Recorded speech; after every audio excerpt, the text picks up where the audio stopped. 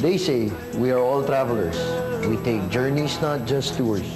So let me tell you about my country, the Philippines.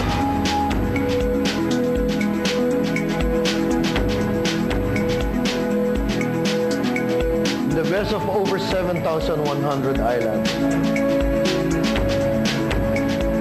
This is the Philippines. Tuloy po kayo.